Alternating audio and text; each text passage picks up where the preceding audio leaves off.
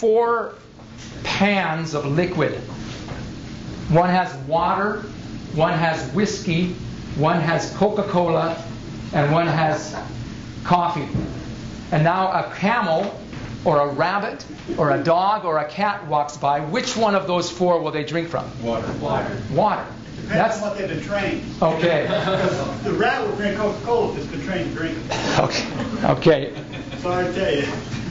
But uh, normally, an animal from even from instinct would know that it ought to drink water rather than some alcohol or coffee. They smell it and they wouldn't drink it. And in that, in that sense, those animals are wiser than us, wiser than people. What are people today doing drinking coffee and Coca-Cola and alcohol, and then turn around and get all these diseases? Now, I want to just share with you this is how I started speaking in China and in uh, Korea and other places also about health. Because we all know that, remember, what does the Bible say? I will help you, I will strengthen you, yea, I will uphold you with what? The right hand of my righteousness. And not only does God uphold us with the right hand of his righteousness, but the health message is the right hand, the right arm, and the entering wedge into people's hearts these days. I want to just tell you about China. Just a few months ago, I started, I think it was on a Tuesday night, and on the beach in China, and giving health lectures and, and talking about health. And uh, all for many hours in the evening, people would gather, hundreds, sometimes 50, 20, 80. Some people would come and go, and talking about health, about New Start, nutrition, exercise, water. You know, in Chinese, they have a little saying, putting legs on a snake. A snake really doesn't need legs, right?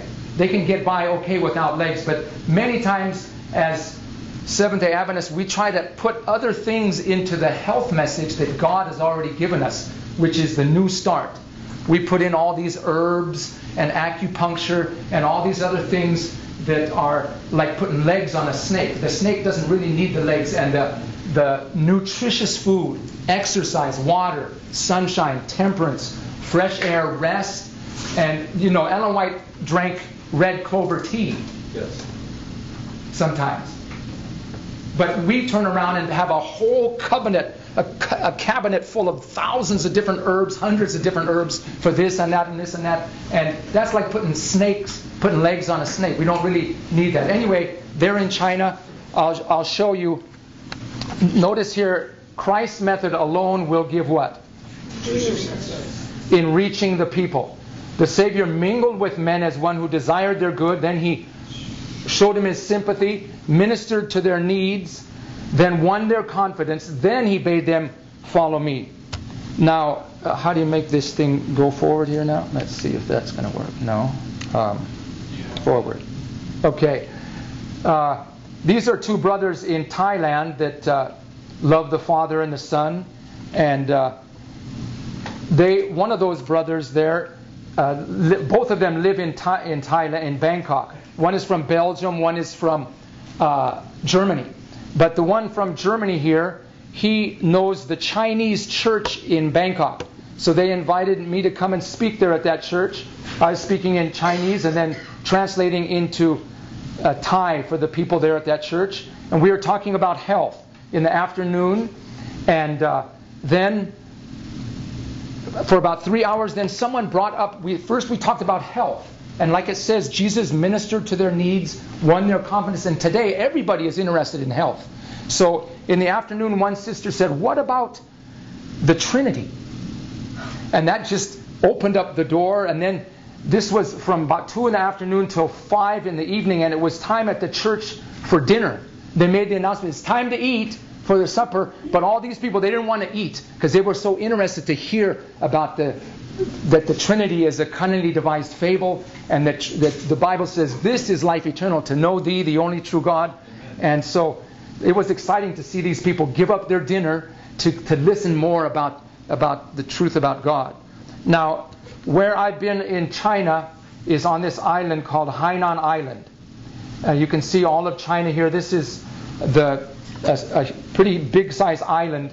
You can see how big it is there. I've been right down here at the bottom at a city called Sanya. And uh, Sister White tells us that God has his people scattered around that have not bowed to Baal. And like the stars of heaven that, have, that appear at night, these faithful ones will shine forth when darkness covers the earth and gross darkness the people. And notice here how it talks about the Catholic lands of Europe, South America, China, in India, and in the islands of the sea. But uh, this island is an island of the sea, and it's also part of China, so it sort of gets a double a double blessing on that on that place. And the reason that this island is so also a nice place to do witnessing is because China is still a communist, socialist, so-called atheist, atheistic country, and they don't really allow uh, evangelism. But uh, on this island, it's they call it the Hawaii of Asia, and people from Russia come there and from all over the world. If you meet 10 people on the beach and ask them where they're from, this is, is the beach there. They're from 10 different parts of China or from all over the, the world, actually. And so it's a wide open place to, uh, to evangelize. I made up some little tracts, printed them just at the store about health, and go along the beach and sharing them with people. And I met this lady and her son. She has a German husband.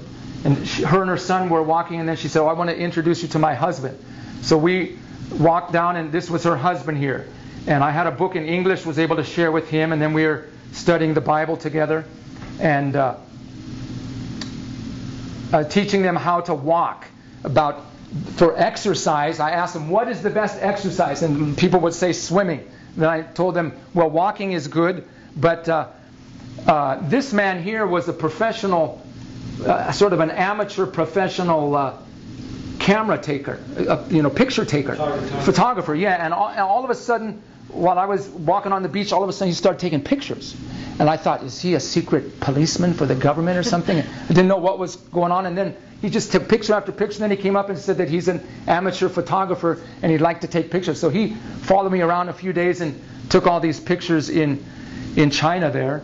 Uh, but anyway, let me go back. On Tuesday night, I began on the beach to give these lectures and then Wednesday night about health, about nutrition. I told him now we have two pans. One has brown rice and one has white rice. Then I asked him if the cockroaches and the ants come, will they eat the brown rice or the white rice?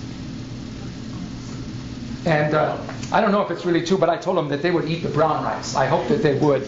But I think animals know that there's more nutrition in brown rice than, than white rice. And uh, then it was Thursday evening, and every night as we were talking on the beach, we could see the sunset.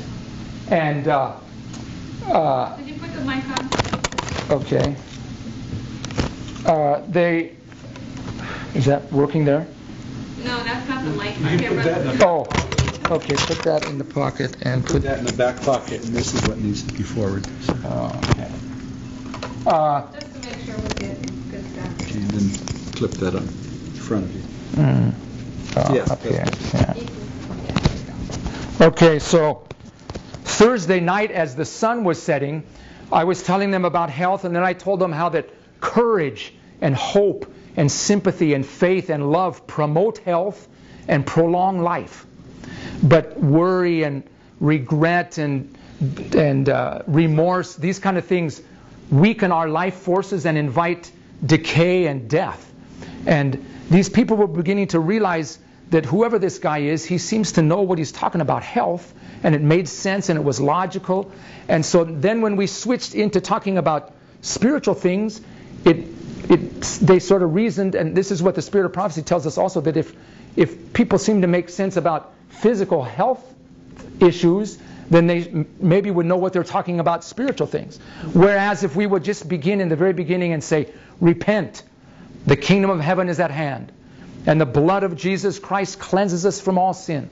Many of them don't even know who Jesus is or anything about the plan of salvation. While those things are true, but the health message opens their heart. So Thursday night at sunset, I told them, now is the beginning of the preparation day. They had no idea in the world what a preparation day was. And I said, every day begins not at midnight, but at sunset. And uh, tonight is the beginning of the preparation day, and then tomorrow at sunset will be, the beginning of the Sabbath. the seventh day Sabbath of God. And uh, night after night, two, three nights in a row, they were ta- listening about health. And then, then on Friday night, I said, now we're welcoming in the Sabbath. And if some of you would like to go with me to church tomorrow, we're going to meet at uh, 8 o'clock in front of Feng Huang Dao. It was just a place down the road because we had to walk to the church. I said, if you'd like to come there at 8 o'clock in the morning, Feng Huang Dao Mianchen, we'll meet there. And, and seven total strangers I never met before, they came to church. Sabbath morning, they met there. Three couples, husband and wife, three couples, and another young man. And we walked 30 minutes through the town to the little uh, church, walked up the stairs. They went through the whole uh, service together. And the next week, that other single man came back, the others, because people come there from all over China. Some of them had already left. But I thought it was an amazing uh, testimony to the power of the health message.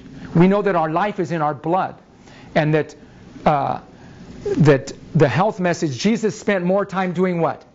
Healing than he did preaching.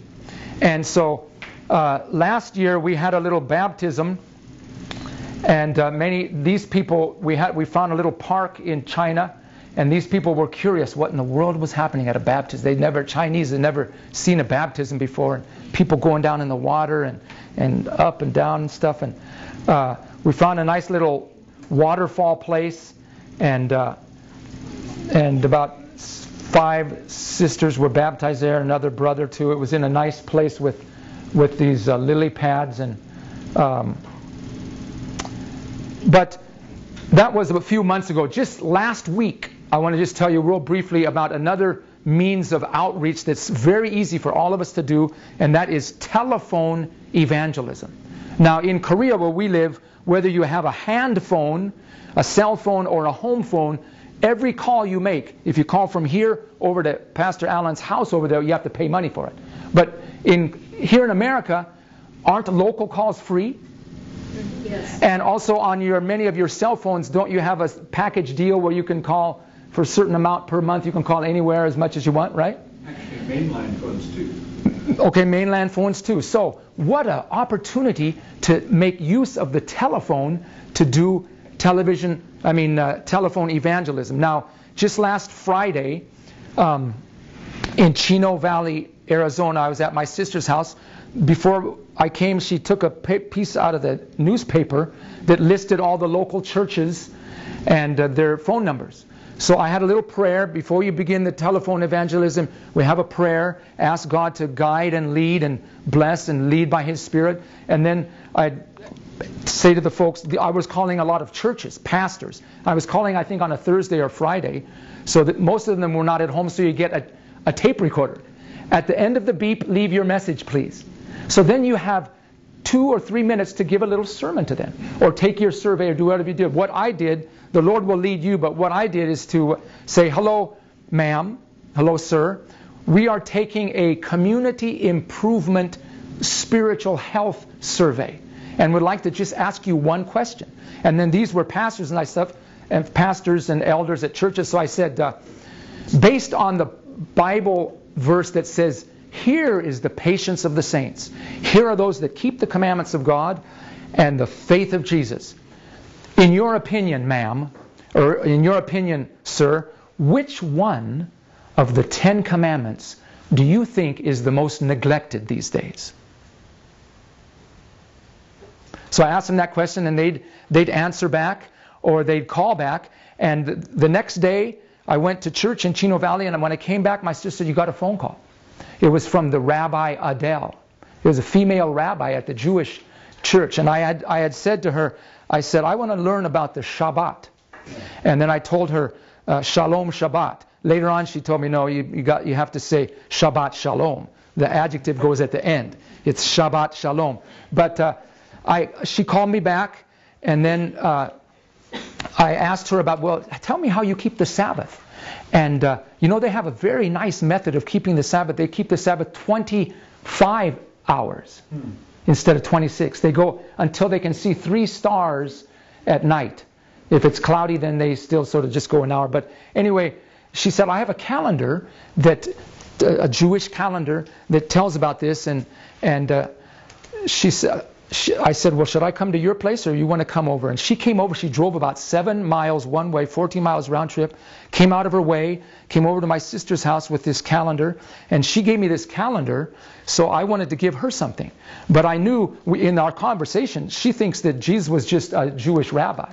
And I said, well, what about Isaiah uh, 53? You know where it says, Who has believed our report? And to whom is the arm of the Lord revealed? And he shall grow up before him as a tender plant, and as a root out of dry ground. He has no form nor comeliness. And when we should see him, there is no beauty that we should desire him. And he was wounded for our transgressions, and he was bruised for our iniquities. And she said, Oh, yes, Isaiah was a very political prophet. And that was just a bunch of political nonsense and everything. And so she didn't even believe that Jesus was the Redeemer, or they still believe in a new Messiah. Now, when she said that, I could have put up both fists and began to fight, as it were, with her and try to convince her that she's wrong and that I'm right. But, you know, that wouldn't work. She was in the home. So I left her a tract that I got from the Chino Valley Church about what do lemons do, or something about lemons, that little yellow one, you reckon? Uh, the, the value of a lemon or something. And then another one about tobacco because she she asked me before she came. She said, "Does anyone smoke at your home?" I said, "No." Uh, because she's very allergic to tobacco. Anyway, to make a long story short, she came and I was able to leave her these health books. And then at the end, I gave her Patriarchs and Prophets because I'd heard before that a Jewish rabbi read that book. And more than any other of the Spirit of Prophecy books, that book seemed to flow along the lines of Hebrew uh, parallelism and the way Hebrews think and stuff. And she took that book and read it. And all of that nice conversation and outreach and leaving a book with her started just through a simple telephone call. And uh, the telephone ministry you can do right in your own home at your leisure time. And uh, some people, you know, will will get upset and you woke me up and don't ever call again type thing. But you know, that's the same. They spit in Jesus' face, and they called him a, a, a drunkard or whatever. So anyway, uh, I want to just encourage all of you in the in the health message that uh, it really is a an entering wedge and a right arm to uh, open many people's hearts to understand the truth. Whereas if we were to come in the beginning just from a spiritual angle, many people wouldn't be interested. But in the area of health, that's why Jesus healed the lepers and raised the dead and spent so much more time healing than he did uh, preaching. Why don't we just have a little prayer together, okay?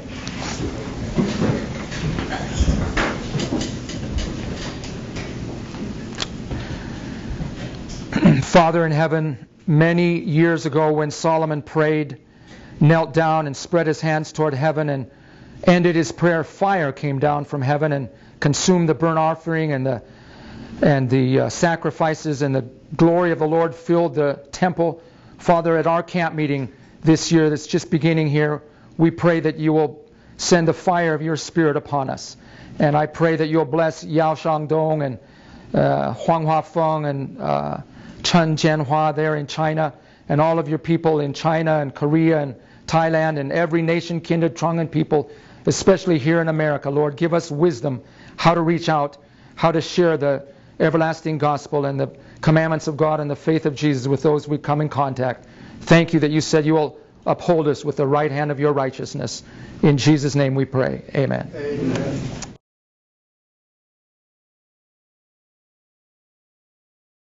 Again? Good evening.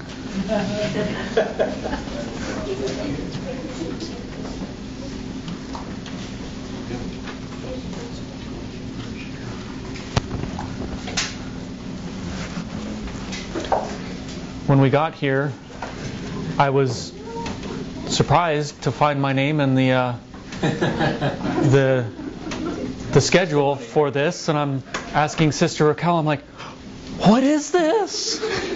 What am I supposed to do? So I still don't know what I'm supposed to do, but I'm just going to do something. Um, if if it's all right with everybody, I, I would like to pray before we begin.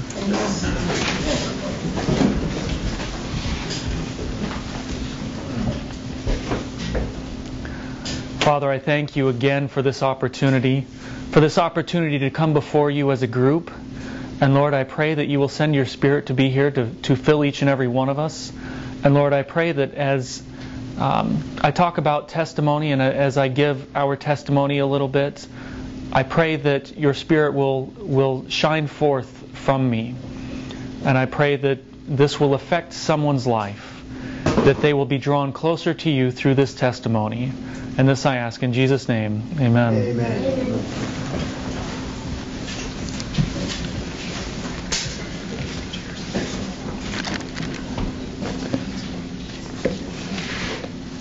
You know, many of us want to do something for the Lord.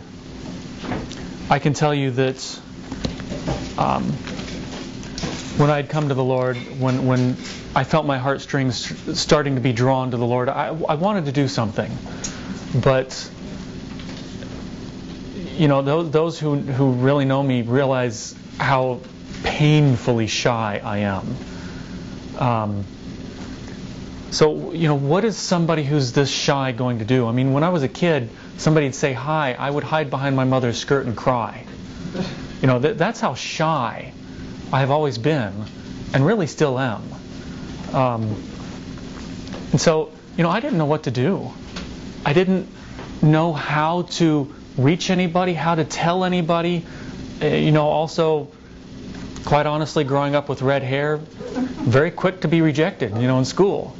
And so I hated rejection. Um, so I didn't like the possibility of being rejected by, by telling somebody about Christ. And I was not sure what to do. I wanted to desperately, but I didn't know how to go forward. I didn't know how to go about it. Um, but, you know, and, and I know I'm not the only one. I'm not the only one with these thoughts. And so I want to share a couple of things from the scripture first before I go into a testimony. Because, you know, there is something powerful about a testimony. You know, I, I can take this word here and I can go through this and I can corner almost anybody there is on the Sabbath. I can answer almost any question. You know, I've read all kinds of deep theological books from Sunday keepers, going into the Greek and the Hebrew, and it doesn't take much to destroy it. But what good does that do? You know, sooner or later, somebody can still take a text and they can twist it out of context. They can still make an argument against what you're trying to say. And there's a time and a place for presenting those things, for sure. But what I have found is that nobody can argue your testimony. They can argue your theology, but they cannot argue your testimony. They cannot say, that didn't happen to you. That did not affect you like that. Hey, I've never had anybody try, but I suppose somebody could try to make the argument. But there is something powerful with a testimony. And, you know, if we look in John chapter 2 and verse 25, or sorry, John chapter 1 and verse, know, really verses 29 to 34, but I don't have time to go through all of that. But what we see here is John gives a testimony. John, John the Baptist. He gives a testimony. And verse 34 is the summation of this testimony from John the Baptist. And he says there, And I saw and bear record that this is the Son of God. Was this a deep theological dissertation that he gave? No. It was something very simple and very much to the point. It was not a doctoral dissertation. We don't have to be educated to give a testimony like this. But if you notice, what you do have to have is an experience with Christ. You have to have that experience first to be able to give the testimony. And John goes through the experience that he saw. Um, verse 32 I, and, and john bear record saying i saw the spirit descending from heaven like a dove and it abode upon him. And i knew him not but he that sent me to baptize with water the same said unto me upon whom thou shalt see the spirit descending and remaining on him the same as he which baptizes with the holy ghost so john here is relating an experience that he had. Um, that's the simplicity of what John did. It was nothing deep, it was nothing theological. It was a simple testimony. And, what was the result of John's testimony? It was powerful, wasn't it? Didn't it move the world? You know, right after this is the first disciples. These disciples heard John's testimony and followed Christ. his disciples and they became Christ's disciples. Yes, they were John's disciples and they became Christ's disciples based upon John's testimony. And so when we give a testimony, we also potentially can make disciples for Christ by pointing them to Him. And uh, I won't go into it, but John chapter 4, the woman at the well. You know, she had an experience with Christ. We see that at the well. Something happened. Something she connected with Christ at that well. And what did she do? She dropped her water pot and she went into the city and she told everybody, "Is not this? Uh, look, this is a man that has told me everything that I have done. Is not this the Christ?" And what you find is that many of these people came to Christ and they came and heard him speak, and then they said, "You know, now we believe not because of what you said, but because we have heard him ourselves." And so that is what we are to do with the testimony. We're to have an example, we're to have an experience with Christ, and then we tell others about that experience. That's our testimony.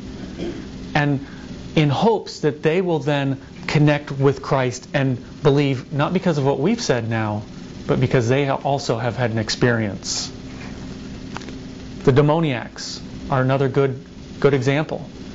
Um,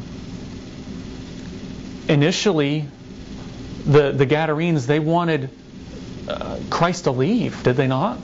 They didn't want him to be around. They were afraid of him. And these two demoniacs, they, they fell at Jesus' feet and said, Lord, we want to go with you. In other words, we want to learn from you. We want to sit at your feet. We want to be your disciples. But Christ said, no. He said, go back to your town and tell them all the wonderful things that God has done for you. And the very next time Jesus came back to that area, the amazing thing is that news spread like wildfire that Christ was there, and people came from all over, all over the place, and they brought their sick to him. So when he was there the, first time, they wanted nothing to do with him. But when he came back, something happened. And the reason is because those demoniacs gave their testimony. They hadn't been with Christ. They didn't have any kind of training. And you don't have to have training to do this. They didn't have training. They weren't theologians. They simply gave a testimony. And they brought many people to Christ as a result of giving their testimony. And so it's that simple. You know, it's it doesn't have to be a deep you, you don't have to know this inside and out. You don't have to have it memorized. You don't have to be able to go from verse to verse. When somebody asks you a question, it's okay to say, you know, that's a good question, I don't know. Because if you have all the answers every time, they're going to think you're a know it all. Honestly. You know, it's okay. And if you do have the answers every time, every once in a while say, you know, that's a good question. Let me look it up. Because nobody wants, nobody likes a know it all. So there are times to say that. And it's a good thing. So don't feel that you have to know everything in the Bible to be able to give a testimony. And so I, I want to go into um, kind of our testimony. And this isn't just my testimony, this is our testimony. Because, you know, I, I praise the Lord, we went through this together, my wife and I. This wasn't where it was one versus the other. We went through it together. But we used to have a, a car lot. And yes, I was used car salesman. I didn't do very good at it because uh, I'm not a salesman. And unfortunately, people wanted you to lie to them about the vehicles. I actually ran into that. But um, we ended up filing bankruptcy. It, this was during the, the Iraq War. Things went under very quickly when the, when the war hit. And, you know, here I am I'm, I'm seventh generation Adventist. We can, we can trace roots, according to my father, all the way back to the Advent movement. And I, I honestly, I grew up with the mentality I'm an Adventist. You know that mentality? I was born and raised Seventh day Adventist. I'm better than you all. You know, I'm saved because of my roots. Does that sound like the Jews? Because of who I am? But yet, I was so far from that it wasn't even funny. You know, I, there's no point in getting into all of what I did and glorifying it because there's no glory in it. But it wasn't good. Uh, it wasn't as bad as some other people. Um, but we had our car lots. Um, and we ended up filing bankruptcy. And here I am. I'm when when you're at the bottom, you've got no place to look but up. And the Lord had put um, a pastor in my path that had something that I wanted, and it just so happened, and I don't think it was by chance, that this pastor was there during this time, about my age. We connected very well, and that started to change things for me. And I remember one day, I still wasn't reading the Bible. In fact, I had the, the mentality that, and I, I remember telling my wife this, we were arguing about this when, not long after we got married. I said, You don't need this. That's what I said. You don't, you don't need the Bible. You don't need anything in it. All you have to do is to be led by the Spirit. That's, that's what I thought. Um, but I remember one time my brother and I were working and we got into an argument about the Sabbath. Uh, he was raised Adventist as well, obviously. But uh, we got into an argument over it. He was saying, you know, there's nothing wrong with going to church on Sunday. And I was saying, no, no, you can't do that. You have to be Sabbath. And um, But I couldn't prove it. I didn't know anything in here. I knew that it was provable because I'd heard the pastor prove it, but I couldn't do it. And so, you know, I sat down and I started reading a Bible. I didn't even know where to begin. I started reading in Matthew and looking for these proof texts for the Sabbath. And I ran into the verse. I was I was reading to prove him wrong. I was trying to find these verses, and I ran into the the text that said, "Take the beam out of your own eye before you take the sliver out of your brother's eye." And I remember reading that and thinking, "Wow, how literal that is for me." Because here I am, I'm trying to take a sliver out of my brother's eye, and I've got a beam in my eye, and I can't even see his sliver because of the beam. That's how big it was. And that's when things really started to change for me. Uh, fast forward some to where kind of where I started uh, the the testimony. A lot had changed for me, and, and I had started to have a peace that surpassed all understanding. And I wanted others to have this, but I, I don't know how to tell people. I was painfully shy. And so I decided I was going to go to Amazing Facts. And there's a whole line of miracles there that are just amazing. But I went to Amazing Facts and then I found out you had to go door to door. Had I known that, I wouldn't have gone. I would not have gone. That first time going door to door, I remember my outreach partner, he was driving because I don't think I could function to drive. I was so paranoid and scared. But I mean, I was slumped over in the seat. I felt like I had a 100 pound backpack on. I could barely get up. But things changed, and by the end of that afternoon, we had to meet up with the rest of the team. And my outreach partner said, "Oh, you know what? It's time to go." And I said, "No, no, we got we got three more houses. Let's get three more houses on this row, and then let's go." So you know, it, it's something amazing happened there. Something changed when I started going door to door. I found people that were interested, and that made it all worth it. And you know, believe it or not, nobody ever slammed the door on me. Nobody ever argued with me. People are actually fairly polite. You know, most people will say, you know, I'm, I'm really not interested. You say, okay, thank you for your time, sir. And you go on to the next door. You're not looking for that person. You're looking for the person that's ripe You're looking for the person that's ready. You're not looking for that one. And don't feel they're rejecting you. They're not rejecting you. They're rejecting Christ. Let it roll off your back. It's not anything against you personally. You just keep going. Um, I entered the, the pastoral program. I don't know what I was thinking because that means you got to stand up front. And I, the first time I had to to speak in front of the church, um, and this is Sacramento. You know, it wasn't Sac Central, but it's still a big church. And I was I had butterflies in my stomach for a week prior, and the couple of days just before, I actually had the shakes really bad. I was I was that scared, and I remember saying, "Lord, what what have what have you gotten me into?" and you know, I, I, again, I would have said no. I, I just can't do this. But I knew I was called. I knew I was called to do it. And so I did it. I, I, I can still very clearly, very vividly remember that first sermon.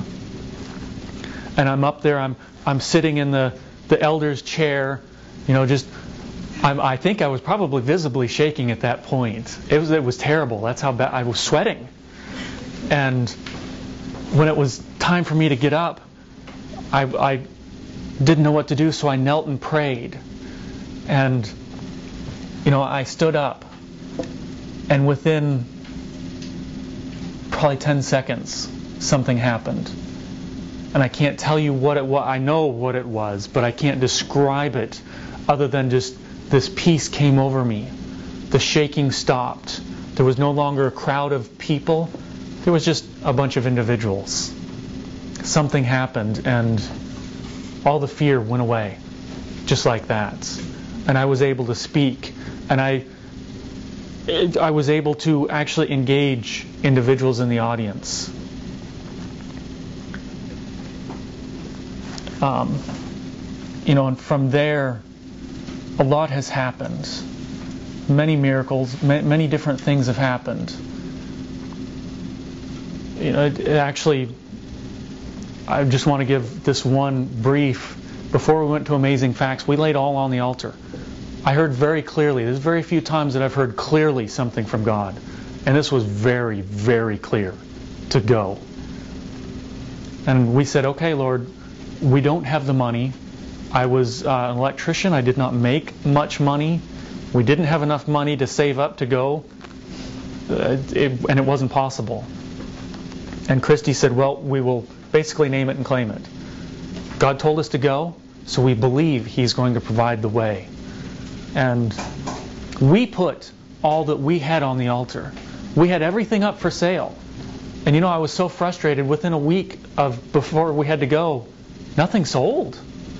I was like, Lord, how are we going to have the money to go? I'm doing all that I can. You told me to go. You have to provide the way. You have to sell these things. But you know what happened? Money literally appeared. It's not like somebody sent a check and I cashed a check.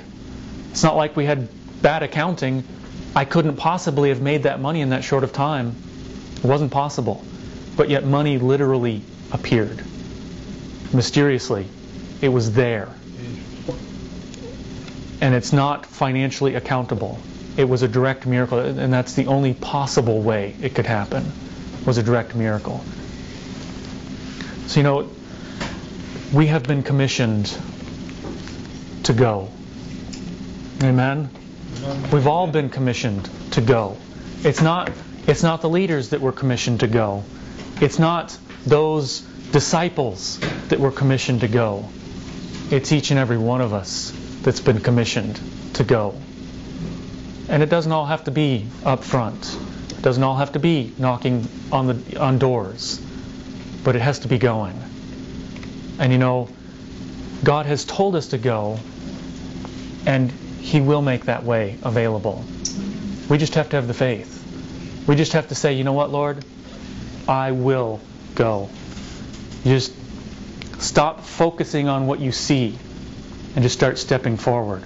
Just start walking forward and the doors will open. It might be a, might be a challenge.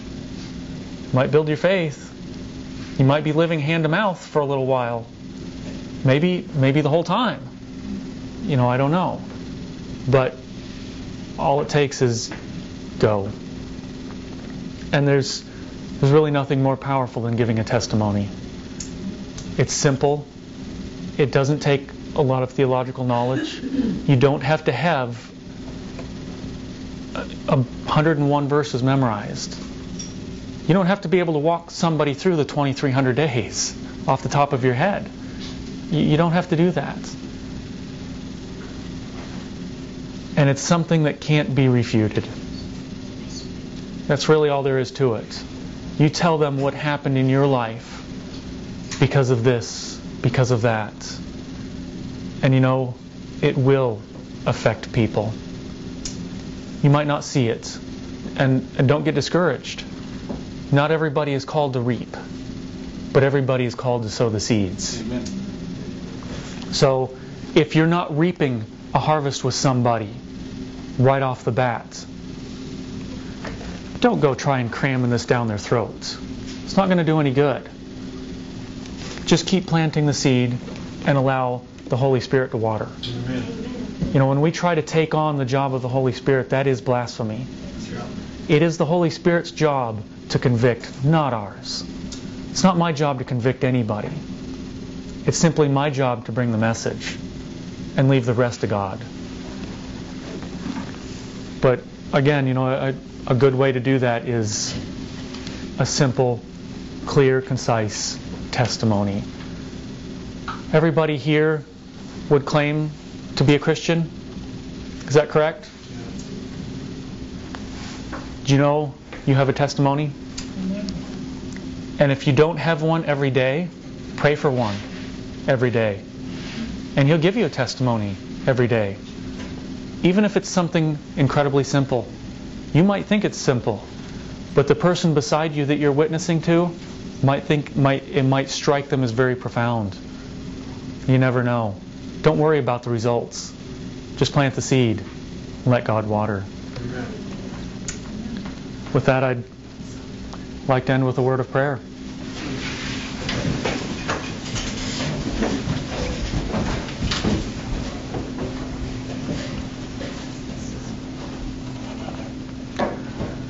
Father, I thank you for the testimony that you have given each and every one of us. I thank you that you have touched our hearts.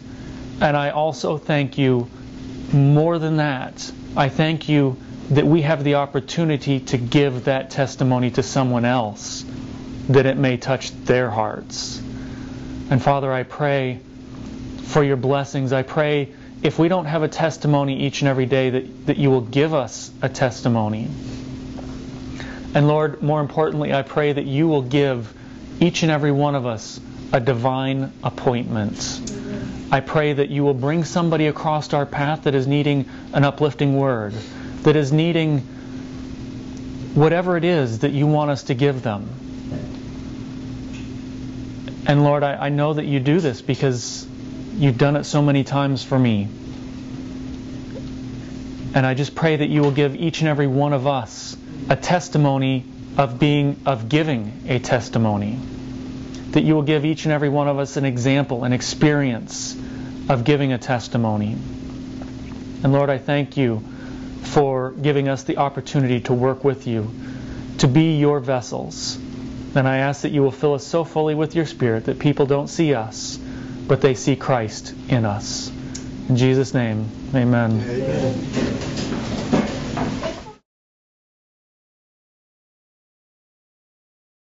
session where we can get you know share our testimonies with to encourage one another and um, I have requested to share with each one of you uh, a report of the work that's going on in Philippines.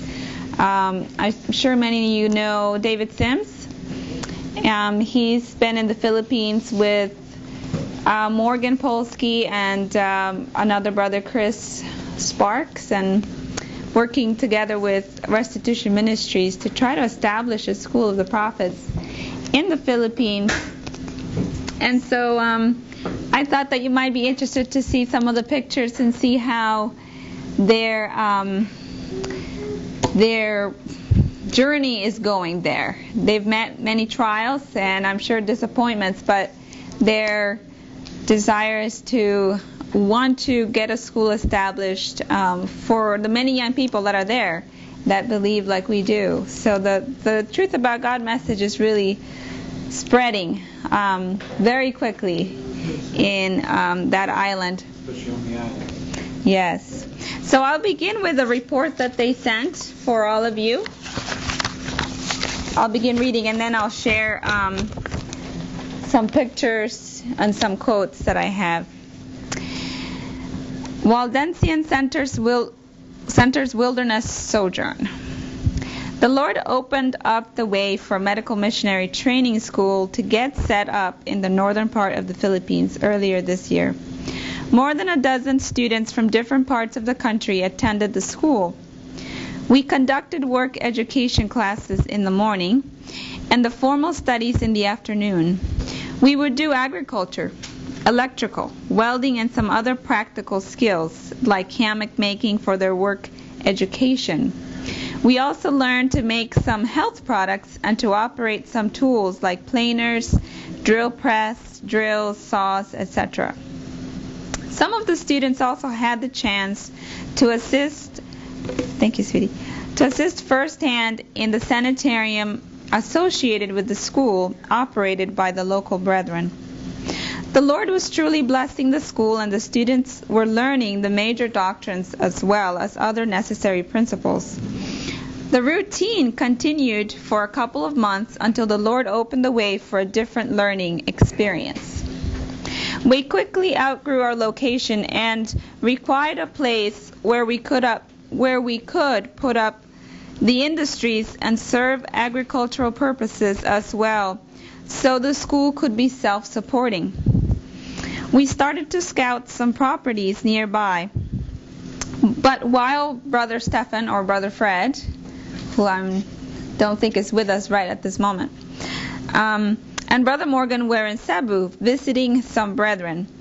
The Lord directed them to a five hectare property that the owners wanted to give to the Lord, and it was offered to us for only 25,000.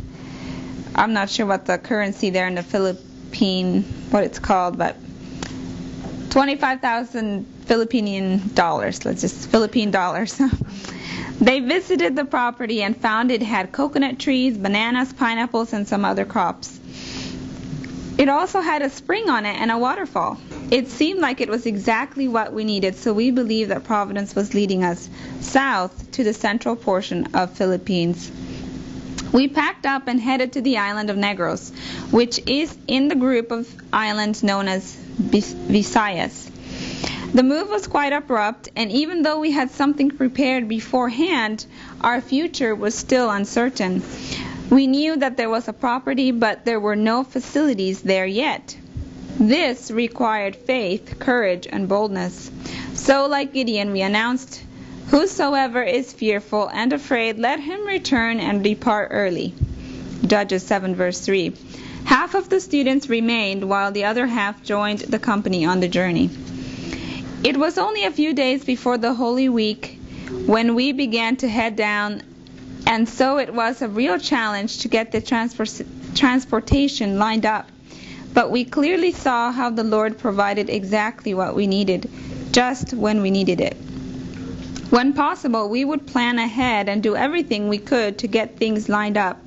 But at times, when we had reached the limit of human possibilities, the Lord would take us in His hands heading south.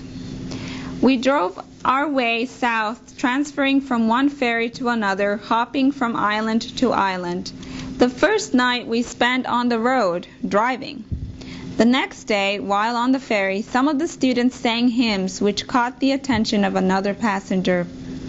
The stranger approached us, and we found out that she was an Adventist. She offered for us to stay in their school that night, for that night. When we arrived at our destination, within a couple of days, circumstances turned out different than what we expected. It became clear that the owners of the land had a change of heart and decided what they really wanted was a temporary caretaker for their property and adjacent properties. They told us that they would not sell it for any price or even lease it. So we began our search for another place. The search. We were strangers in the land and did not have a place to stay, but on our first Sabbath, our connection there invited us to stay in their place. We spent the next week driving around the island looking for a place, and the Lord would always open a door for us where we could spend the night. Complete strangers would open their homes for us, and we saw how the pillar of cloud and the pillar of fire led us all throughout the journey. We were also led to different Seventh day Adventist churches and schools on the island and met different people along the way. In one instance, we stopped at some concrete spot by the roadside and ate our lunch. While eating, we noticed that it was actually a driveway of an Adventist school. Later on, some school staff passed by and approached us.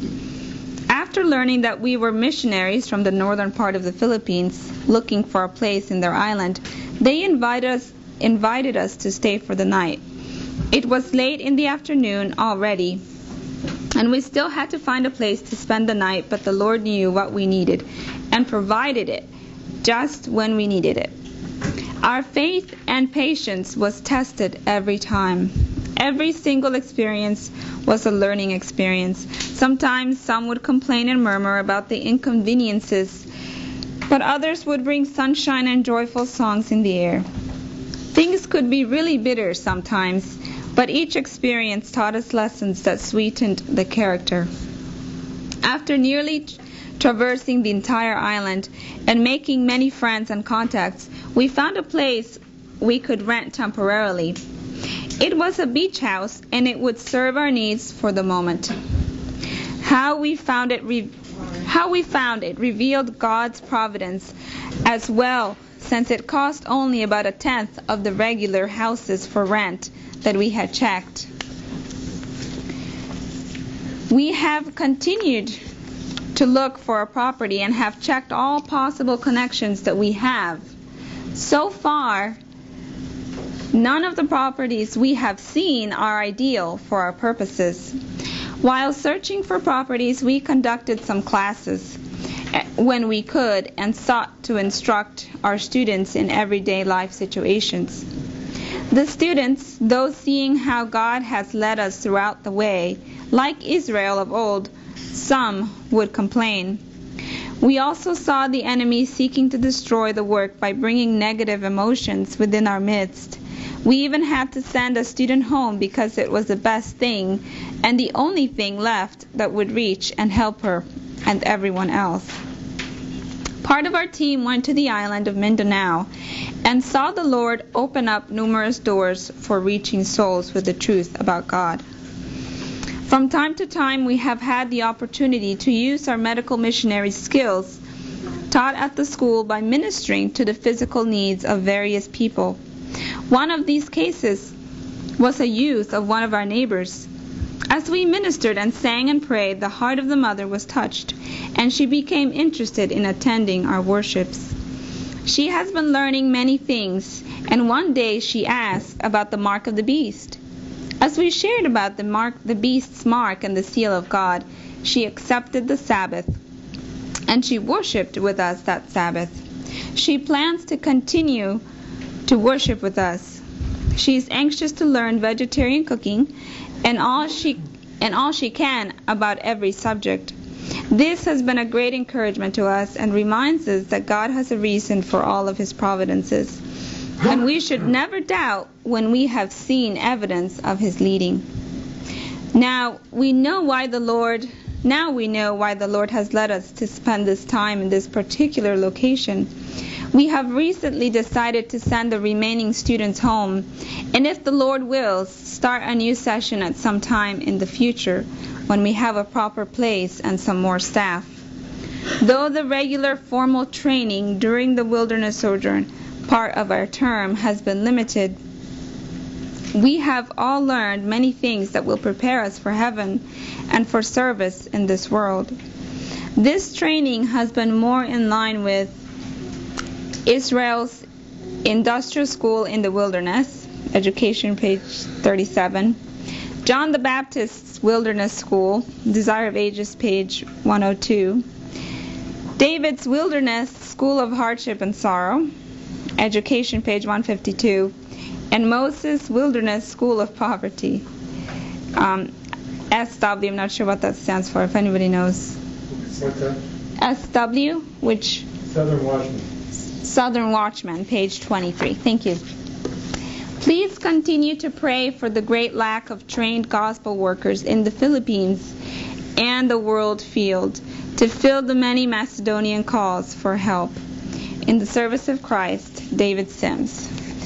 So that is the end of that letter slash report to all of you from Pastor David regarding the schoolwork. They're still looking for property and they're going to be taking a break from the actual classes to um, he's going to have to do some traveling but there really is a, a need for schools. And i'll show you pictures here.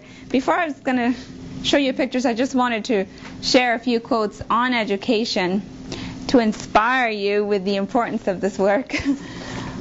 Um, this is from the book education but by ellen white. It says True education does not ignore the value of scientific knowledge or literary acquirements. But uh, above information, it values power. Above power, goodness. Above intellectual acquirements, character. The world does not so much need men of great intellect as of noble character. It needs men in whom ability is controlled by, a, by steadfast principle. Wisdom is the principal thing, therefore get wisdom. The tongue of the wise useth knowledge aright. Proverbs 4 verses 7 and chapter 15 verse 2. True education imparts this wisdom. It teaches the best use not only of one, but of all our powers and acquirements. Thus, it covers the whole circle of obligation to ourselves, to the world, and to God. Character building is the most important work ever entrusted to human beings, and never before was its diligent study so important as now. Never was any previous generation called to meet, meet, issues so momentous. Never before were young men and young women confronted by perils so great as confront them today. At such a time as this, what is the trend of the education given? To what motive is appeal most often made? To self seeking. Much of the education given is a perversion of the name. In true education, the selfish ambi- ambition, the greed for power, the disregard for the rights of need uh, and needs of humanity that are the curse of our world find a counter influence. God's plan of life has a place for every human being. Each is to improve his talents to the utmost and faithfulness in doing this. Be, be the gifts few or many, entitles one to honor. In God's plan, there is no place for selfish rivalry. Those who measure themselves by themselves and compare themselves among themselves are not wise. Whatever we do is to be done as of the ability which God giveth. It is to be done heartily as to the Lord and not unto men, knowing that of the Lord knowing that of the Lord ye shall receive the reward of the inheritance, for ye serve the Lord Christ. Colossians 3:23 and verse 24. Precious the service done and the education gained in carrying out these principles. But how widely different is much of the education now given. From the child's earliest years, it is an appeal to emulation, emulation and rivalry. It fosters selfishness, the root of all evil.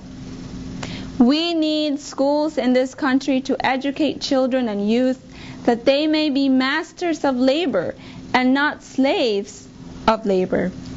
Ignorance and idleness will not elevate one member of the human family. Ignorance will not lighten the lot of the hard toiler. Let the worker see what advantage he may gain in the humblest occupation by using the ability of God, the ability God has given him as an endowment. Thus he can become an educator, teaching others the art of doing work intelligently. He may understand what it means to love God with the heart, the soul, the mind, and the strength. The physical powers are to be brought into service from love to God. The Lord wants the physical strength, and you can reveal your love for Him by the right use of your physical powers, doing the very work which needs to be done. There is no respect of persons with God. From many places, calls are coming for ministers, for teachers, for physicians to carry on the work in sanitariums, but we have not the trained workers to send. We have sanitariums, but we need more of these institutions in various places. We need schools that will be self supporting. And this can be if teachers and students will be helpful, industrious, and economical. There is no need for debts to accumulate on our schools, and the old debts should be cleared away. Sacrifices must be made on every hand. We must devise and plan and labor to the utmost to be thrifty and economical. In the common schools, some things are taught that are a hindrance rather than a blessing. We need schools where the Word of God is made the basis of education. The Madison Training School for Teachers should have the hearty support of God's people. Therefore, I ask you and your associates on the conference committee to act liberally in helping our brethren in Madison in this important work. I'm not sure how many of you know the story of Madison, but it's a good uh, history for all of us to know.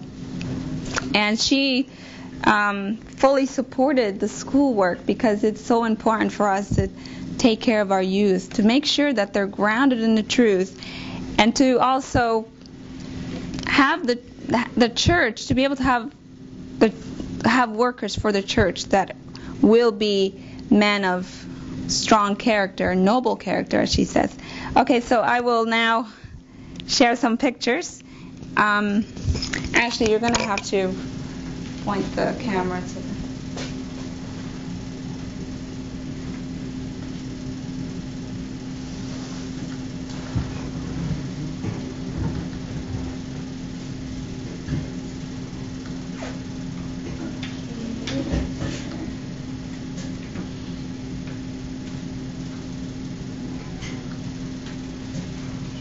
I don't know. I think that's as big as I can get on my screen. It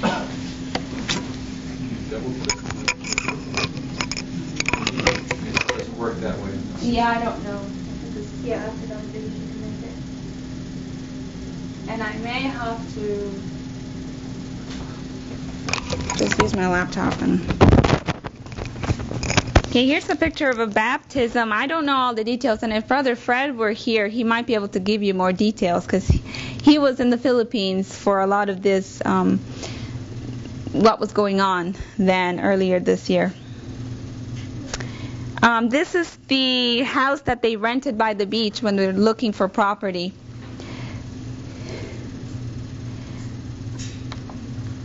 And this is here, chop saw, it says here. Um, um, all of the, the pictures that you will see, majority of them are is is in Ilocos, Philippines. They uh, were having classes in um, a sanitarium as well.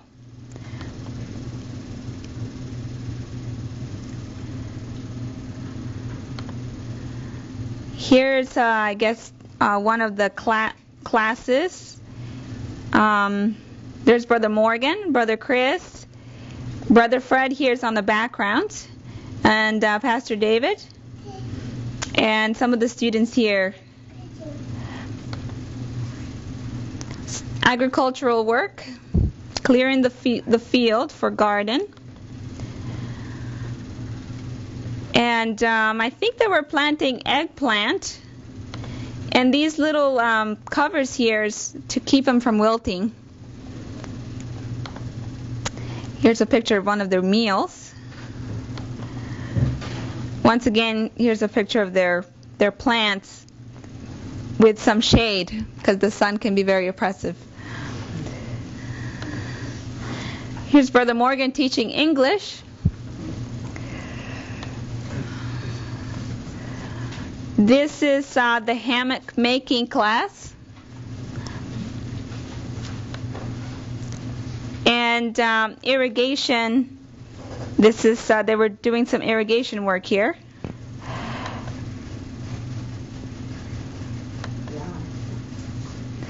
Here's a picture by the beach. This is while they were traveling from Ilocos to Negros. Another picture of the students here walking through a trail. Medical missionary training. they were doing some planing here. They were going to make some beds. They didn't have any beds, and a lot of the students were sleeping on the floor, so they were working on making their own beds. Here's another um, picture of the garden. And another picture of the students. There's Brother Fred, Brother Morgan, Brother Chris, and Pastor David. I wish I knew all the names of everybody, but I don't. Here's another picture, and this is the sanitarium that is still being worked on there, where they had classes. They were planting their seeds, I guess, there. This is the staff of the school. Some welding classes and uh, evening worship. And I think that's the last one.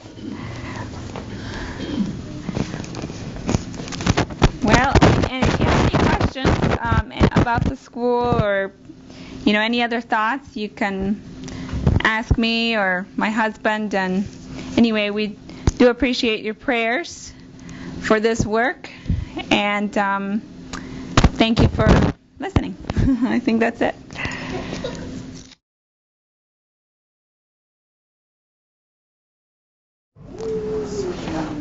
Well, certainly I am thankful up, up till this moment. Now I don't really know what to say.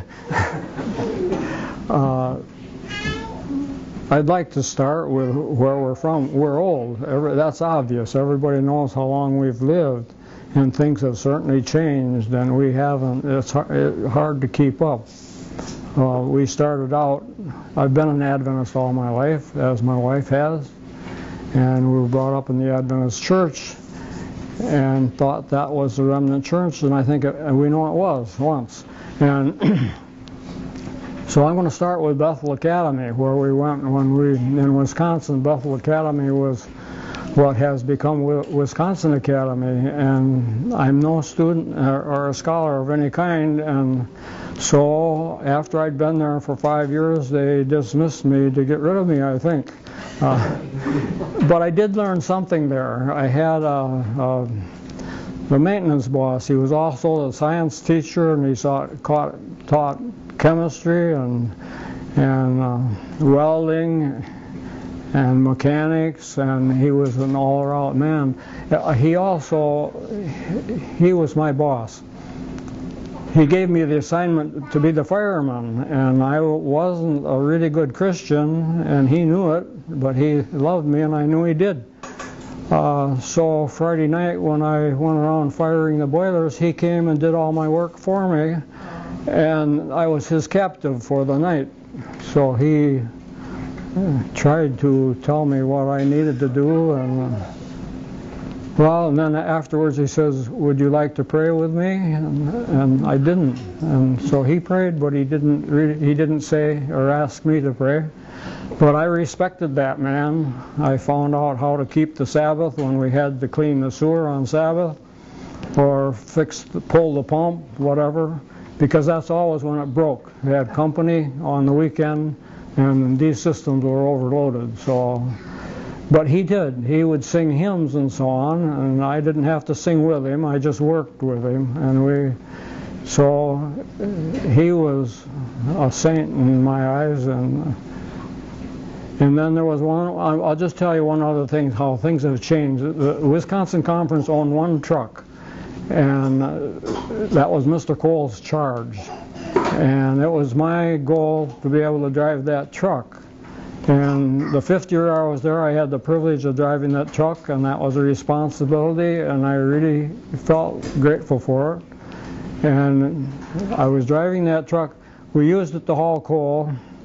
We used it to haul the girls and the boys to recreation. That was our school bus. That was transportation. So we come back from hauling coal, scrubbed up the bus or the truck, put the girls in it. We put a top on it, tarp, so they could stand up in there, and that was all right. And we had a chaperone, the girls' dorm, the dean. She rode with me in the cab, and that made it legal at that time. You can't do things like that now, but we did it then. Anyway, she also uh, loved me, I guess, and she was trying to make me a better boy. And so she was talking to me, and we got to the, the gym where we're going to have recreation that night. I forgot all about the girls. I was trying to be respectful and listen to her. And I turned, I did remember where to turn to the gym, and I turned, and of course all the girls fell down, hit the side of the truck, and it raised the, raised the sideboards on the side. They went up, and uh, that anyway, I I straightened it out. They came back down, bang like that, and then all the girls fell on the floor, and my wife was in with the girls. At any rate, uh, uh, I let the girls out the back, unlocked the door, and let the girls out. They were mad as, mad as hornets, and I didn't have a friend in the bunch. so, but it, wa- it was interesting, and school was different. Now Wisconsin Academy is a modern school, but I, I've never forgotten that they kept me. I don't remember. I remember who the other teachers were, but these two, the girls' dean and and Mr. Cole, were the ones that kept me in the church, so to speak. But I was, like I said, and then and then after all this time as Adventists, we came here five years ago, and I was rebaptized. I need, I felt, felt I needed to be, and Pastor Allen, Don Cox is the one that told him that. I told, I was sharing with Don Cox, and he said, uh, I said to him, I think it would be good to be rebaptized. He says, What about today? Uh, I said, Well, I don't even know the pastor. He introduced me to Pastor Allen. Pastor Allen asked me questions, and then he asked me if my heart was strong enough because the water was going to be really cold. And at, at any rate, I was rebaptized. So I've been thankful for this group here. It, it's been a wonderful experience to be able to fellowship with people that believe we believe the same and we, we can share what we believe and the goodness of our Lord. And that, I guess, I, I abbreviated everything. I've lived a long time, so there's more to say, but I, I can't remember it. I'm going to stop. Thank you for listening.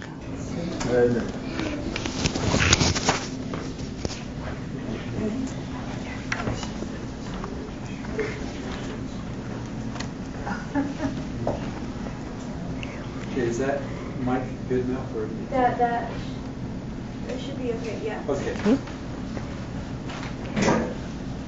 Well, my testimony isn't about what I've done for God because it's been so little, but what He has done for me, and that's been a lot.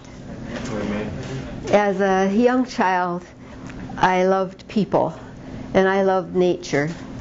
And for people, it could be babies or grandmas and grandpas, it didn't matter. I just loved people. And I used to go visit a grandma lady that lived across the road and over from us. And she had kittens, and she also made home brew in a tub, and she had that in her room. And she offered me a drink of that, and my mom told me, "Don't you ever drink anything." at her house, but I could play with the kittens, and it, that was a lot of fun for me, and I enjoyed her. And we always had people coming to our house that were um, elderly people, grandmas and grandpas, grandpas mostly, I think. My, my mother used to do washing for them, and she hauled the water from the river and scrubbed on a scrub board. But eventually she got a washing machine, but she was a hard worker.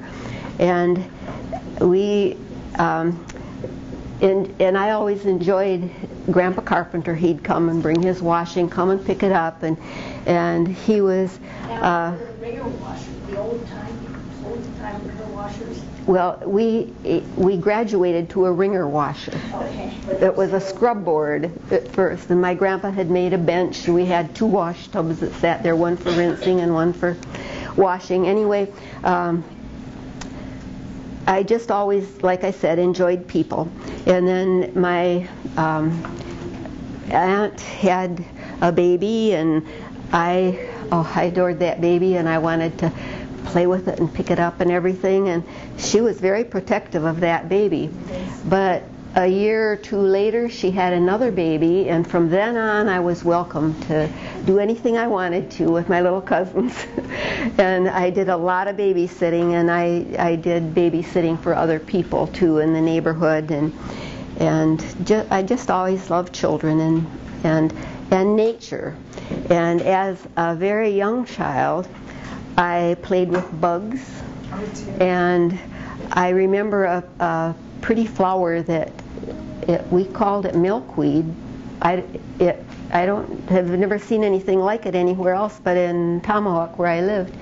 But it had dainty little pink flowers on it, and when you picked them, you got a milky substance on your fingers that didn't feel too good and was kind of sticky but it had beautiful little bugs on it that were they looked like a ladybug only in in size and the way they acted and everything but they were iridescent. Now i've never seen them anywhere else but there and i loved to play with those little bugs and i'd pretend they were little cars or something and then i uh, uh, the high chair there were four of us in the family and i was number three and so there was no step on the high chair anymore, but there was a little hole where the step plugged in. And I used to pretend that was the garage, and I'd park my little bugs in that hole. And one day, my mother tells this uh, that um, I went to pick up one of those little bugs, and it opened up and was going to fly. And I hollered, Mommy, Mommy, look quick, look quick. It opened its feathers and crawled on its knees.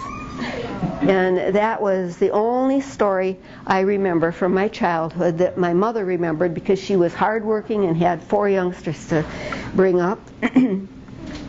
my dad was there too, but he was 20 years older than my mother, and he was a alcoholic cigar maker, so my mom had kind of a hard road to hoe. He was not a mean man.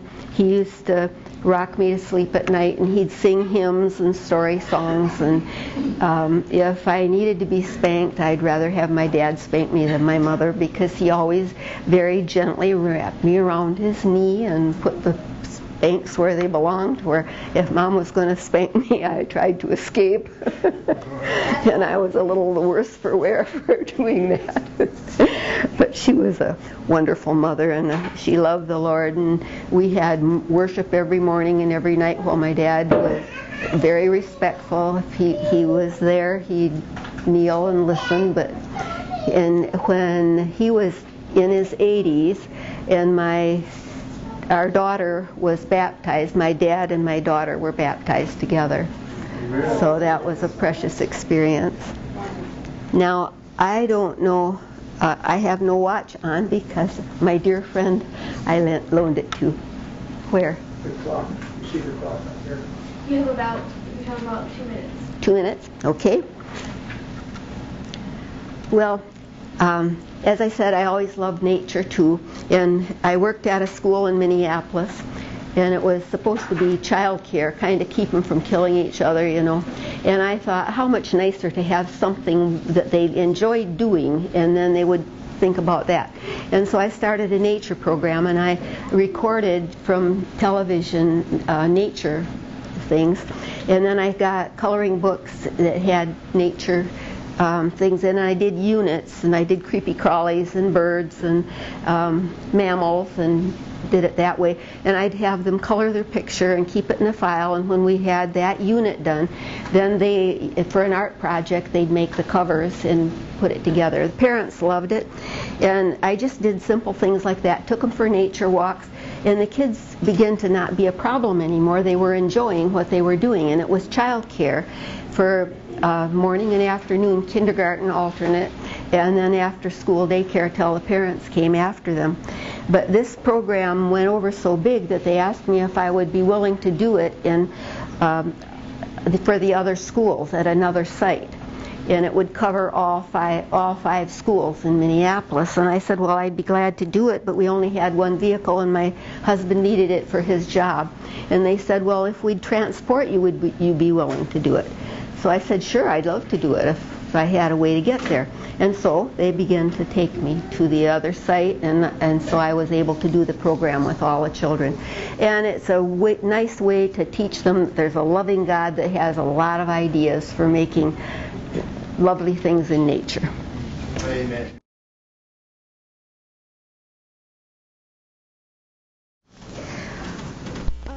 most of my life has been involved in the work here in West Virginia, especially Wyoming County and the neighboring county, McDowell. And, uh, you know, we can do a great work, but we must never think, look what I did.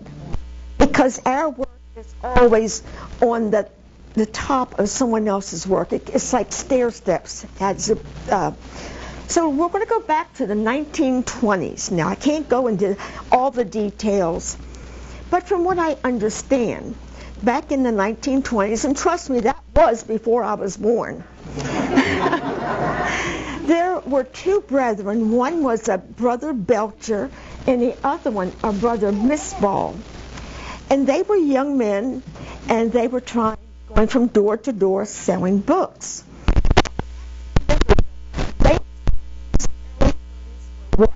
This country. Right. Then there was a family that just down the road. Those in from Welch here passed the spot where they lived. And they were fresh out of Mount Vernon. They had graduated from Mount Vernon Academy. They had aspirations. And God blessed them. They would go they knew somebody was sick. They would, like if uh, they had sore throat, they, would do a cold compression on their throat. If um, problems, they would use an onion and bake that onion and wrap it up and put it on the ear. So they did an amazing work.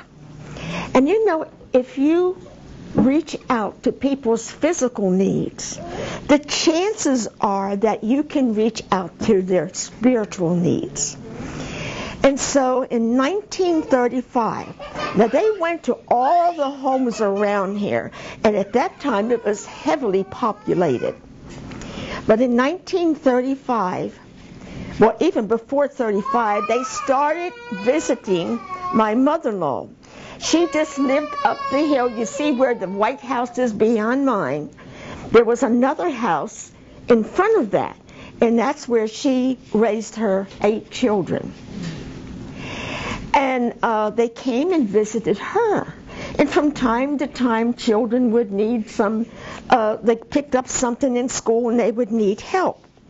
And so, therefore, they would come and help her.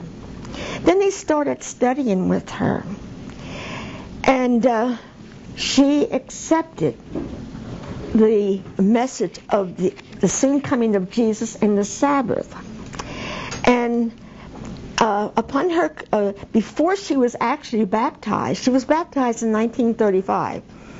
But before she was baptized, um, she kept her first Sabbath. And she sent one of her children down the, down the road, down the creek a little ways, with a, a bushel of string beans. And in the bushel of string beans, there was a note. I kept my first Sabbath. And I cannot imagine the joy that it brought to the, the hearts of those who had been studying with her. And she was baptized in Indian Creek. And I was hoping that Kevin could have been baptized there, but I didn't think of it soon enough to cut the grass down to get there. but anyhow, um, they started meeting in people's homes.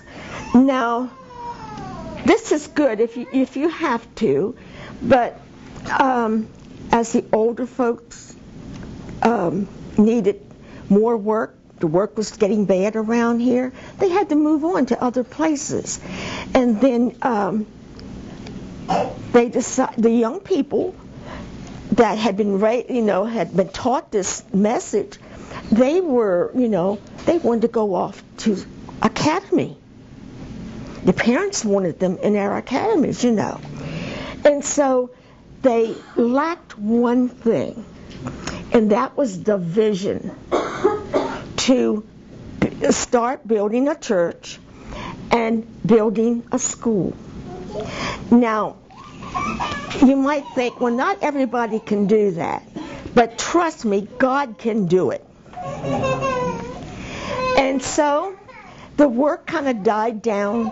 The people down here, which was my mother-in-law and my former, my deceased husband and his family, they would drive 50 miles to church in Princeton. This was every Sabbath. And uh, after a time, um, Glenn, he moved away to South Carolina, and my mother-in-law was left as just by herself with no uh, interaction with other Adventists. And so um, in 1970, 1971, my home was breaking up. And at that time, I was working at the General Conference. And um, of course, whatever goes on the, around that area, everybody knows about it, you know. There's so many churches in that immediate area. And so I had a friend from Rhodesia, then it's now Zimbabwe. And I was tempted, they tried to encourage me to come out to Rhodesia because he was going out as a a treasurer of one of the, I don't know if it was a conference or uh, a union or what it was, but they were sure that I could work for him. So I talked to Melvin Adams. I don't know if any of you here know him, Elder Melvin Adams. And he said, well, with the ages of my children, he says, I would strongly suggest that you stay in the States at this time. And so uh, my next choice was West Virginia. Now you have to understand, in 1954 when I came through West Virginia for the first time, I said, I'll never live in West Virginia. Not only that, about in, in the 50s, I said, I will never become one of those people, Seventh day Adventists. So don't say never. But anyhow, in 1971, they had a very bad flood at a place called Buffalo Creek. I mean, it was really bad. A dam that burst. A coal dam burst and just took out the whole hollow. And so, anyhow, uh, I heard about it, and so I got busy, and I had a station wagon at that time, and I just went ahead and loaded that station wagon up with all the clothes, whatever I could get to take to bring down here. So that was my introduction to this area. And then after my home broke up, I moved down here in 1972. Now, um, this is just kind of a backdrop of, of what has transpired in all those years. And so at that time, I met, uh, I think, a very handsome man, and Glenn. And we got married. But believe it or not, a lot of our conversation during the courting season all pertained to God's work. He dearly loved the Lord. And I loved the Lord and I loved him. And so anyhow, we started out as a team. We were young. And I look at Christy and Andy and Thomas and Raquel, these young couples. It's so good seeing how you're taking hold. Because as older folks, you know, we need to pass the torch on. And so you have a vision, stay with it. Because God will see you through. But anyhow, we immediately in 72 started, we went to the Princeton church, but we started a branch Sabbath school right down here in the hollow. And that went well for a time, and then by 19, um, that was in 72. In 1973, we were what they call a branch Sabbath school with 12 members. Small. And sometimes there were only two, my husband and me. But we always kept the doors open. Always. And then in 1974, we started uh, meeting again back in my mother-in-law's home. And in 1975 of April, a Sabbath we had it set up to have Sabbath school and church. And we were used several buildings over in Welch. And um, uh, I said to uh, Glenn, you know, we need to start a building fund. And not that it, I'm that crazy about building funds, because I've been a treasurer for 40 some years in different churches total. And uh, I know how that uh, that can be. But anyhow, we had a little church at that time, and this is when we were at the organized church. And we had this little church, and we put money in there each Sabbath. And um, in '74, Glenn and I were in a very bad accident. A couple of people were killed. And um, an automobile accident. Yes. A couple of people were killed, and my left ankle was broken, and his right knee was broken. But God saw us through it while we were there in the hospital. We had the friends that the, Oliver and Grace Harold that lived just down the creek here. They were still living. And they brought us bags of books. And so what we would do, they, we'd get in our wheelchair and we just would go from one room to the other and a book that I dearly love is The Desire of Ages. And I would take that book, I had it in my lap at the time of the accident too, and it was kind of bent. But anyhow, I would take that book with me in the wheelchair to the to the room, and I would vi- uh, visit with the people, and I said, "Oh, I want to share a little nugget with you." And so I would read a little from the Desire of Ages. And there was one girl, I don't know whatever happened to her, but she um, loved the book so much. And, oh, I'd love to have it. So I went ahead before I left the hospital. I gave her that my Desire of Ages. So these are some of the wonderful experiences that the Lord has led us into. And I don't care what kind of a problem we have. God can bring good out of it. He can bring good out of it. So in April of 1975, we launched our first building program. And due to the accident that took place in 74, the man had the minimum um, insurance coverage. And so therefore, by time I had to pay lawyers' fees and hospital and doctor fees, there wasn't a whole lot left. But we had 5000 that um, we put in the bank. And Glenn uh, said, well, we'll keep that 5000 so that if you need a, another surgery, we'll have it. Well, in 1978, I went out to California. And on the way back, God impressed me, really laid it on my heart. Why should I hold on to that 5000 when it could be in the Lord's work? So when I got home, I talked to my husband about it. Let's put that in the Lord's work. In the meantime, God had a, um, a literature evangelists. They used to call them colporteurs, but now they, I think they'll all go by literature evangelists. And this literature evangelist went to the conference and said that um, he says, I will give $5,000 towards work in southern West Virginia on the condition you can find someone who will match it. Oh, this was taking place in his life, what he wanted to do, and at the same time, the Lord had worked with me about giving that 5000 By that time, Is that Fred? Yes, that was Brother Fred Seeley. I don't know if anyone here knows who he is or was. But anyhow, I can see in so many ways how the Lord has been leading.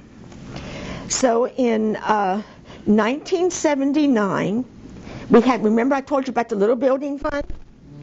Well, in just a very short time, we had $3,000. And I had talked to the minister, conference minister, about maybe the church could help us out. And this minister, he said, You don't have any financial stability. Hmm. This is Appalachia. And I said, Well, no, we don't, but God does. And so, in a short time, we were able to come up with $15,000. This is in 76. And so we only got started with the work, you know, in 72, 73, in those years. So by 76, we had raised 15,000. I'll tell you a little bit about how some of the people got, raised their money. One girl had poodles, and she's not even was is not even an Adventist, but she said to me, "I'm going to sell when I sell one of my poodles. I'm going to give you the money." Uh, Wanda K. She says, "I want to give you this the money for it." And then another person, I'll never forget it.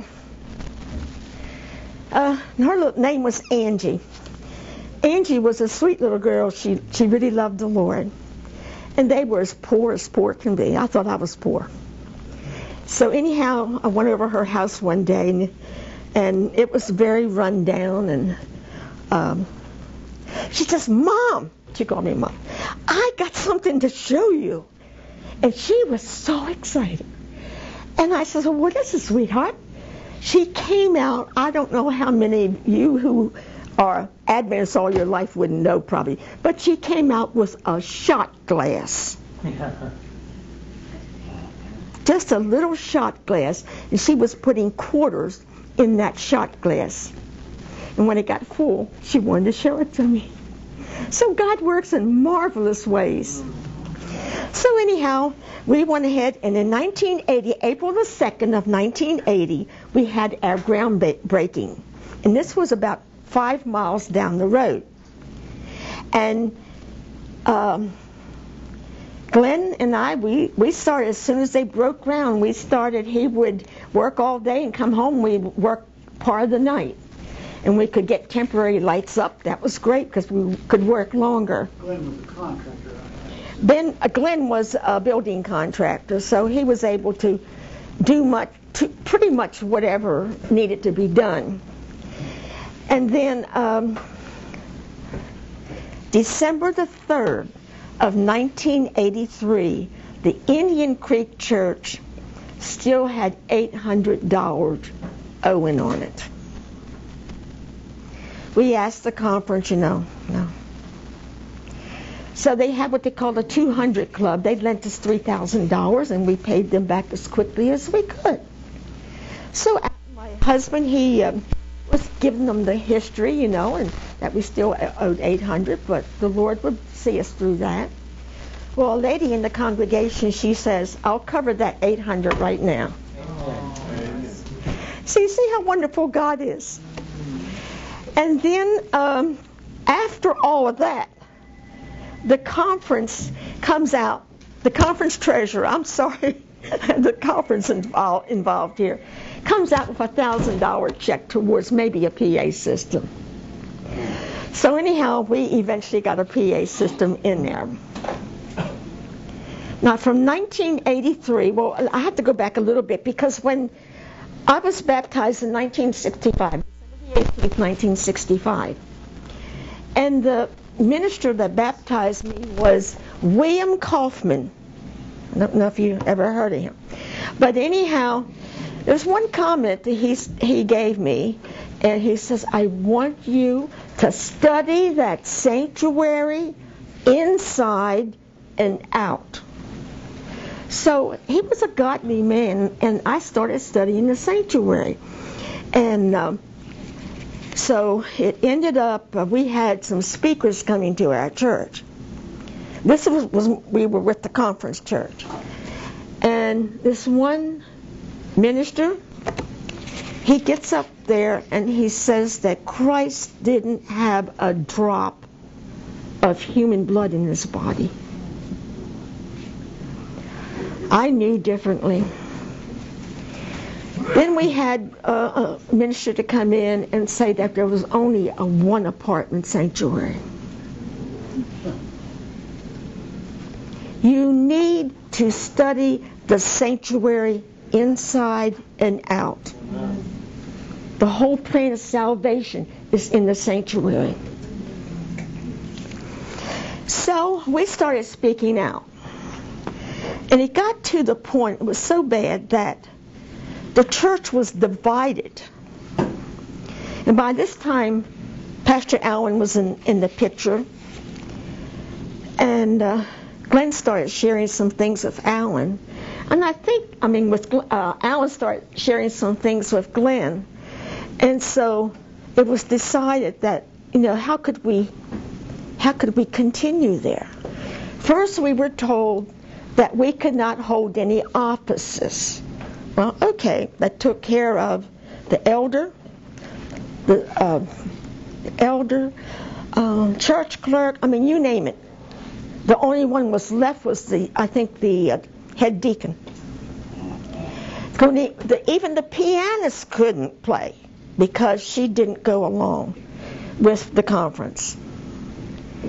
And so Believe me, I don't have any animosity towards them. I feel sorry for them. I really feel sorry for them. So, anyhow, we started speaking out. So, eventually, Glenn and I sat down and composed a letter. And we had a friend that was on the conference committee, and he gave us all the names and addresses of the conference committee and told them that we could no longer support them with our offerings and tithe.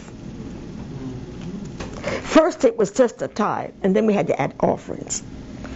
One, we could no longer support heresy in the pulpit. We can no longer support lawsuits against our other brethren and with tithe money and using a Catholic lawyer to do it. We could no longer support the stock markets. When I first went to the general conference, I had money in the stock markets. Oh, Sister Ann, you don't want to do that. that that's not right. Well, they were doing it all the time. Um, hospitals accepting government money. This was just, I just listed four. The letter contained eight reasons why we could no longer support it. And different ones would say to me, oh, Ann, you don't have to worry about that. We give them the, their tithe money, and that's what, what they do with it. It's their fault. And my question is, wait a minute. If I have a neighbor and he's in need and I'm giving him money and he is not spending that money on something things that he needs but alcohol should I continue to support it support him no in the same way applies to us because when you give money to the conference to the general conference it's not being used as you think it is. And they have these little ways of switching robbing Peter to pay Paul and stuff like that. And it's it's just not good. So the we um, had a meeting at the church, our last meeting with the organized church. Was the second Sabbath of 1986. We didn't say anything to the people there that were opposed to us. We just simply went to church, came out, and we all met over at my place. I got out on the parking lot and I I had oh I'm getting ahead of myself. Not only couldn't we hold office, but we had no, later they added to that we had no voice. No voice. But the final, but the final, which broke the camel's back, the final straw that broke the camel's back, they told us we couldn't give Bible studies. Hmm. Now you tell me what human being hmm. has the right to tell you you can't have a Bible study. Hmm. And so we said, that's it. That was it. So we got out on the parking lot, and there was a, a young lady, and she had an envelope for me. And I knew what it was. Her mother would send us money from time to time. It was usually thousands. And this particular time, when she came out, when she gave it to me, I said to her, I says, Kathy, if you want, no, I, I'll take it in and put it back in, in the offering. She says, no. It's the start over. It was $2,360. God provided. So anyhow, we got back here and kind of got my house rearranged a little bit so we could have the next Sabbath we would meet at, at, at our house for Sabbath school and church. And we were there um, starting the third Sabbath of October until June of 87. Now, how many months is that? October to June.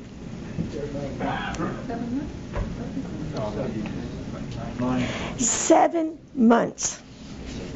Seven months. There was a young man there, and and um, this Angie that I was talking about. Her husband wasn't a Christian.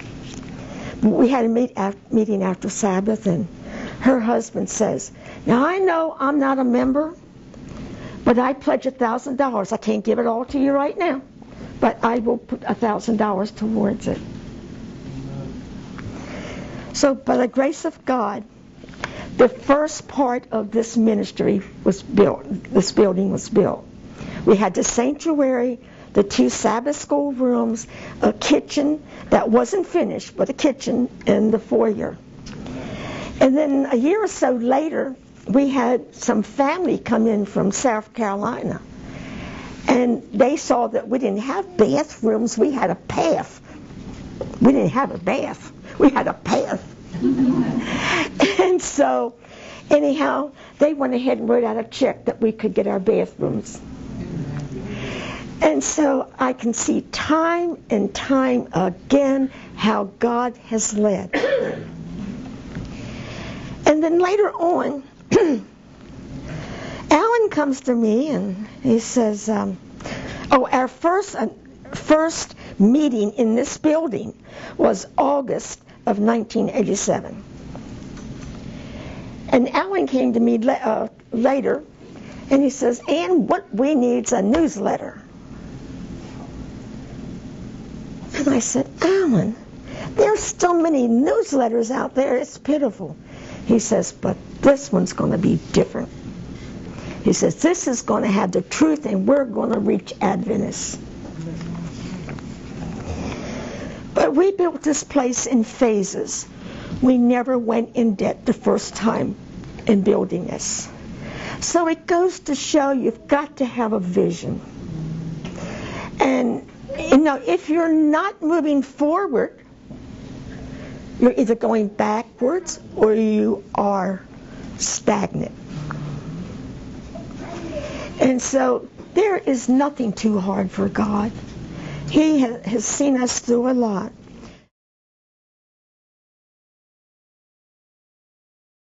Testimony. Zachariah Beachy. Here you go, brother. You can stand to the side if you want. Okay, I- I'll do that. Um, one day, my dad told me to go do something, but it was pouring outside, and I couldn't quite do that thing. So I opened the door, and immediately it stopped raining. So I went and did what dad told me to do, and then I walked inside, shut the door, and then immediately it started raining. And that's all.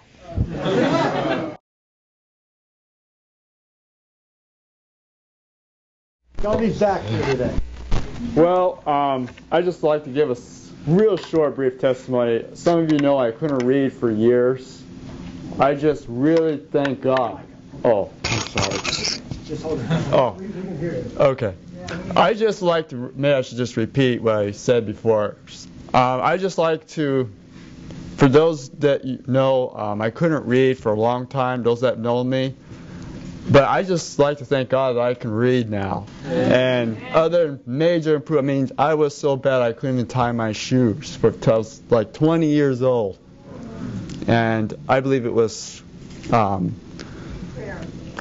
prayer, but also I believe it was um, autism, as you call it. And I just like to praise God. And I know people were praying for me, and I just think, I just thank God for your prayers. I have a question. Yes. Uh, what was your chief book that you read? Uh, the Bible. I just picked up the Bible and I just started reading. And Old Paths and other hard things, hard books, and I started reading. And so.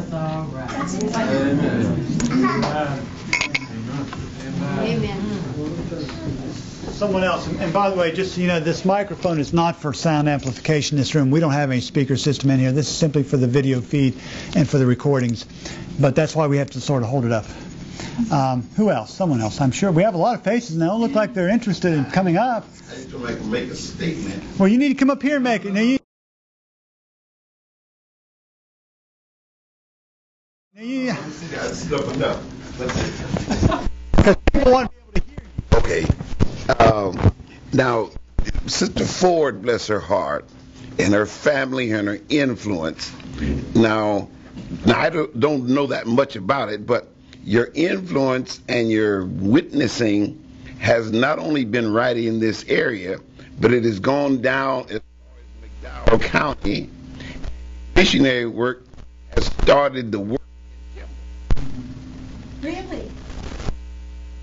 Vacation Bible school there. Okay, but what, what I'm what, what I'm pointing to is your work was started in Kimball, and because of the death of people and all the attrition with money or whatever it is, you they have a beautiful little church in Kimball, mm-hmm. but very few members. Mm-hmm. And the appeal that you made for workers to come in this area to do the work of the Lord, I hope deaf ears. You need people to come work here, but the work. It's not easy here. You know, when you got to walk up so many steps and so many yards and all, it's very difficult. And if I was a younger man, I would be glad to do that. Until you go to Welch and uh, see the topography of Welch, it's hard to appreciate that.